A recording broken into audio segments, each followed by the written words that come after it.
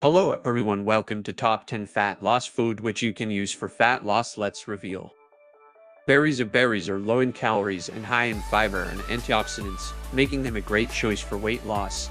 They can be eaten on their own as a snack, added to yogurt or oatmeal, or used in salads and smoothies.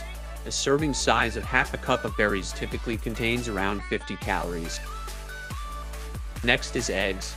Eggs eggs are a great source of protein and healthy fats. Eating eggs for breakfast can help to keep you full and satisfied throughout the morning, which can help to prevent overeating later on in the day. A serving size of one large egg typically contains around 70-80 calories. Next is fish. A fish is a lean source of protein that is also high in healthy omega-3 fatty acids. Fish such as salmon, tuna, and sardines are particularly beneficial for weight loss. A serving size of 3.5 ounces of fish typically contains around 150 to 100 calories. Next is leafy greens. and Leafy greens are low in calories but high in fiber and nutrients, making them a great choice for weight loss. Some popular options include spinach, kale, and broccoli.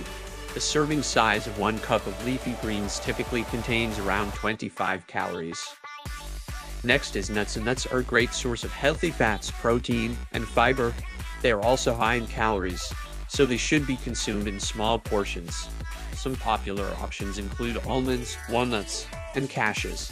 A serving size of 1 ounce of nuts typically contains around 200 calories. Next is Greek yogurt. Greek yogurt is a great source of protein and healthy probiotics. It's also lower in lactose. It can be a good option for those who are lactose intolerant. Next is the legumes are a great source of plant-based protein and fiber.